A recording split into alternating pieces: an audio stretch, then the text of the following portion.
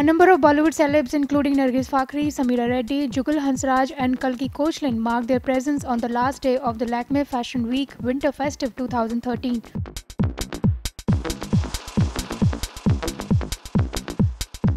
The Fashion Week that kick-started August 23 concluded August 27 at Grand Hyatt in Mumbai.